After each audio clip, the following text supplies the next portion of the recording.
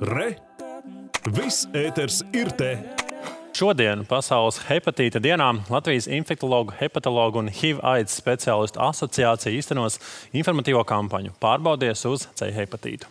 Tas gaitā uzsvērs plašākas testēšanas nepieciešamību Latvijā, kas ietver gan aktīvāku sabiedrības informēšanu, gan normatīvu pilnveidošanu. Un šorīt uz sarunu esam aicinājuši Latvijas infektoloģijas centra aknu slimību nodaļas vadītāju Ievu Tolmani. Labrīt! Labrīt! Labrīt. Noteikti varētu arī ieskicēt tādu kopējo situāciju Latvijā ar saslimstību ar C hepatītu. Nu, ja, piemēram, mēs raugāmies plašāk Eiropas kontekstā. Latvijā ir diezgan augsta saslimstība ar C hepatītu. Pirms nedaudz vairāk kā desmit gadiem mums bija veikts epidemioloģisks pētījums. Un tas parādīja, ka mums ir uh, tuvu pie 40 tūkstošiem inficēto Latvijā.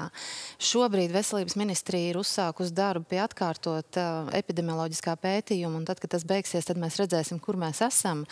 Vai šo gadu laikā mums ir izdevies samazināt saslimstību, jo ir ieviesti gan labāki normatīvi akti, gan, gan arī sabiedrība ir informēta, kā var inficēties, kā var um, izvairīties no inficēšanās. Gan arī jāsaka, ka pēdējo vairāk jau kā 5 gadu laikā mums ir pieejama ļoti efektīva ārstēšana, un mēs esam jau izārstējuši tūp pie 10 tūkstošiem pacientu pēdējo 5-6 gadu laikā. Un vēl kas ir svarīgi, kāpēc vispār mēs par to runājam, tāpēc, ka pats C hepatīts jau viņš cilvēkam īsti lielu problēmu nerada. Bieži vien cilvēki to pat nejūt un viņi nezin, ka viņi ir inficēti. Bet gadu laikā tas var novest pie aknu cirozes un arī pie aknu vēža. Un šīs slimības bieži vien nav ārstējamas un tās ir slimības, no kurām arī var nomirt.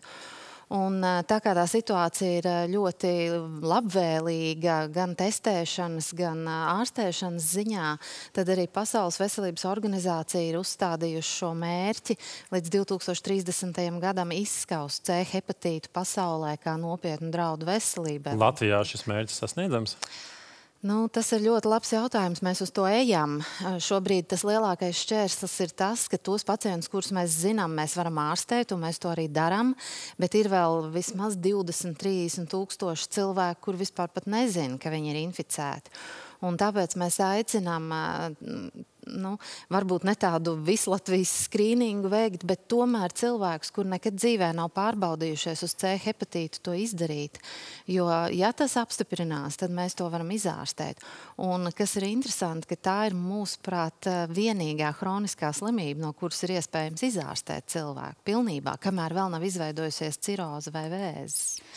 Tomans kundze, vai, vai, vai, vai Vai mēs varam teikt, ka C hepatīts ir tāda mītiem apvīta slimība, un kas varbūt ir tie lielākie mīti, no kuriem sabiedrība baidās? Noteikti tā ir mītiem apvīta, un tas ir viens no lielākajiem mītiem, ka tā ir narkomāna slimība. Tā, protams, ir narkomāna slimība, bet ne tikai. Un ņemot vērā to, ka senos laikos, nu cik nu senos, līdz 92. gadam mēs vispār nevarējām pārbaudīt uz C hepatītu, mums nebija testēšanas sistēmas, līdz ar to netika pārbaudīt donoru, un līdz tam laikam varēja saņemt ar asins pārliešanām šo slimību slimību, bet joprojām ilgstoši to un Es domāju, ka joprojām ir izplatība arī dažādu kosmētisku salonu, ne salonu, bet varbūt procedūru ietvaros, jo mēs zinām, ka mums tiek veiktas dažādas kosmētikas procedūras nevienmēr ļoti labos un kvalitatīvos salo salonos, un uh, tur nenotiek pilnīgi laba šo, šo instrumentu sterilizācija. Tāpat seksuālā, seksuālais ceļš, kurš nav ļoti bieži, bet arī ir iespējams. Nu, un uh, retos gadījumos arī medicīnā ir savas vājās vietas, lai gan arī mums visu laiku tiek uzlabotas šīs procedūras, mēs, eh, bet dažkārt glābjot cilvēku no kādas um, citas nopietnas slimības, ir arī medicīnā vājās vietas. Līdz ar to mums ir ļoti daudz pacientu, kur nekad dzīvē nav lietojuši narkotikas, bet viņiem ir C hepatīts. Jūs sakāt, ārstniecība mums ir ļoti laba, arī plaša testēšanas, skrīnings iespējas, bet uh, Kas ir tas, nu, cik bieži vispār ir nepieciešams šāda testēšana un skrīnings, un kā panākt tādu lielāku sabiedrības interesi testēties uz C hepatītu?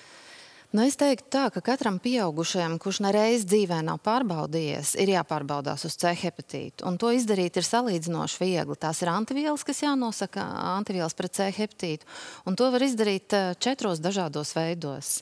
Eh, viens var aiziet nodot asins kā donors, būs izdarīts labais darbs un arī cilvēks tiks pārbaudīts uz eh, BC hepatītiem un uz HIV infekciju. Otrs variants ir iet pie ģimenes ārsta.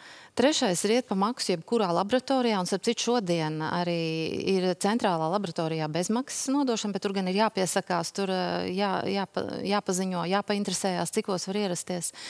Un ceturtais veids ir tā saucamie HIV profilakses punkti, kur anonīmi un, un bez maksas arī var nodot uh, ekspresu testu.